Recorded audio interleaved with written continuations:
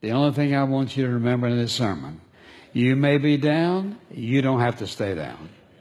You have the same Holy Spirit living within you that'll help you pick yourself up and move on to do what God wants you to do. You don't give up. You get up in the, not in your strength, but in the power of the Holy Spirit. And you who are parents, you're setting a pattern for your children, as my mom said for me.